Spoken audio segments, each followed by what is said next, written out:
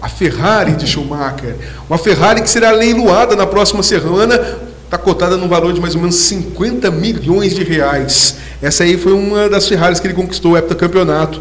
Olha, 50 milhões, um carrão desse aí, daria para brincar, hein? É, fiquei sabendo que o Michael Mariano já fez a oferta dele. Ó, tá vendo? para quem pode, não para quem quer. Bom, vamos acompanhar. Semana que vem a gente traz mais notícias para saber quem vai ser o sortudo que lá em Genebra vai arrematar mais um veículo do campeão mundial, esse grande Michael Schumacher, também um dos grandes nomes, uma das grandes lendas do automobilismo mundial e uma escuderia que realmente é enigmática, a Ferrari. Que carrão, meu amigo, eu sou apaixonado. Viu? Coração vai até na, na boca de ver um carro desse. Imaginar pilotar um trem desse, eu vou te falar. Nossa. Que doidura. Muito bacana.